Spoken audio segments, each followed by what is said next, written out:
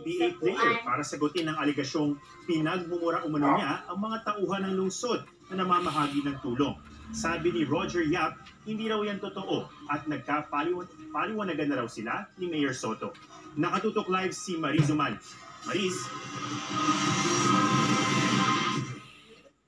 misunderstanding o di pagkakaunawaan lang daw ang dahilan kaya maling impormasyon daw ang nakarating kay Pasig City Mayor Vico Soto kaugnay sa umano'y pagmumura ng isang dating ah, PBA player na si Roger Yap sa ilang mga Pasig frontliners dahilan para ikagalit ng alkalde ng lungsod.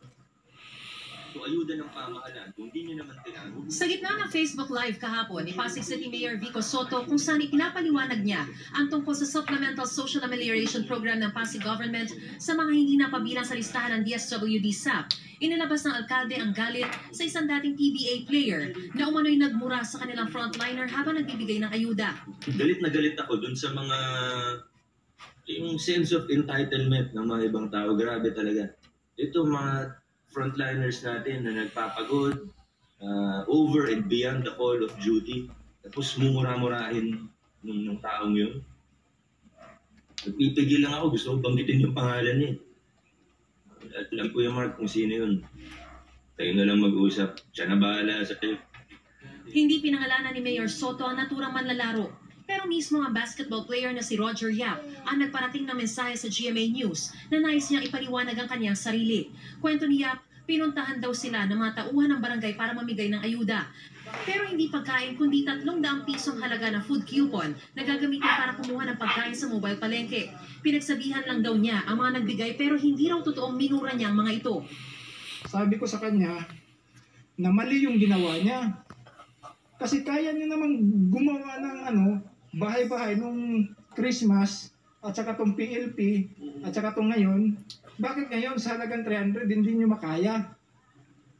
Mali raw ang impormasyon na karating kay Mayor Soto at hindi rin naman daw siya nagwala. Hindi naman ako galit. Siguro, na-misinterpret lang niya. Ganun, ganun kasi yung ano, parang akala niya galit ako, ganyan ganyan. Ang problema lang, kasi dinagdagan yung kwento. Inano na. Ang dumating kay Mayor, nagmumura daw ako, nagwawala daw ako dyan. Kahapon nakapag-usap na rin daw sila ng alkalde sa tulong ng kapwa PBA player at bayaw ni Mayor Soto na si Mark Pingris. Nagkaayos man, may sama pa rin ang loob si Yap sa nangyari, lalo na sa inabot niyang pambabash dahil dito.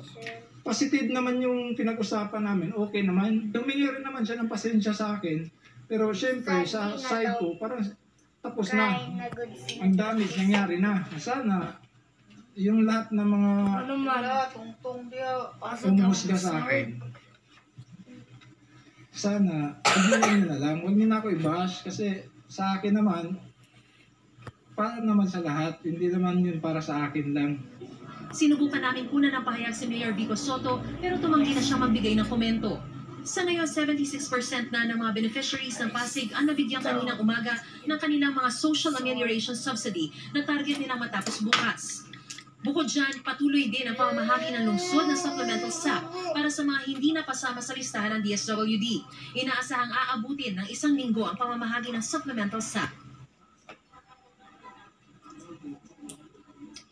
At ang COVID update naman tayo dito sa lungsod ng Pasig, nadagdagan pa ng labindalawa ang pasyenteng uh, nagpositibo nga sa COVID-19 na umabot na sa 369. 61 naman po ang nasawi, habang 102 na ang nakaka-recover. At ang maraming salamat Mariz Umal.